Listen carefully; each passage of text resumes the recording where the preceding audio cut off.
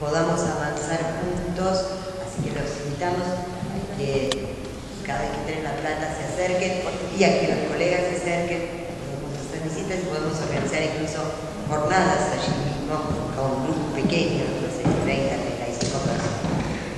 En ese marco, y ahora sí, el año pasado empezamos a, a reunirnos, primero de modo no sistemático, con muchos colegas, inspectores, que nos planteaban una de las preocupaciones, que es la, más bella que hablar con ustedes, que es qué pasa cuando vamos a las escuelas.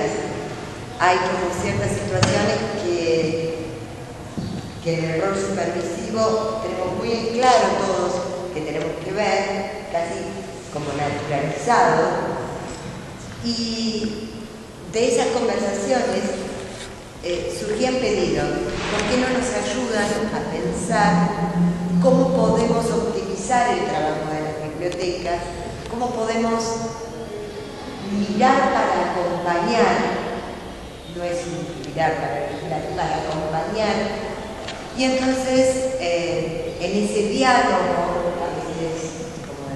como café eh, y otras veces más organizados.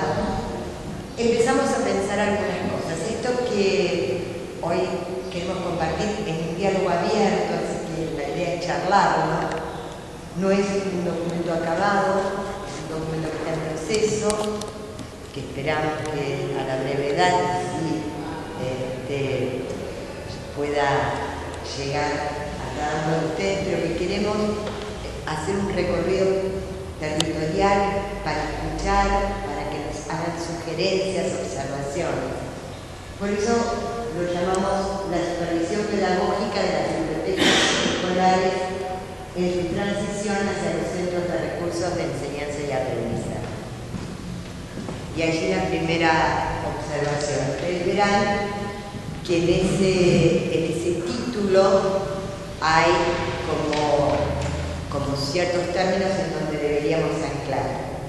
Primero que claramente estamos hablando de una supervisión pedagógica, estamos eh, acompañando lo que más nos preocupa a ustedes y a nosotros, que no es solamente la cantidad de colecciones, si tiene un espacio físico, si los libros están catalogados, si sigue tal o cual norma, sino qué ocurre en esa biblioteca.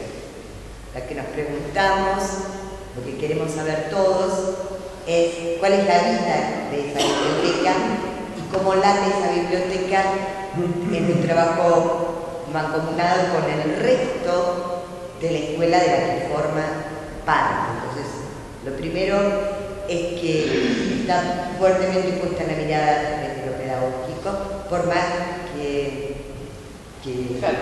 con Raquel y con los chicos armaron luego un anexo en donde hay ciertos indicadores.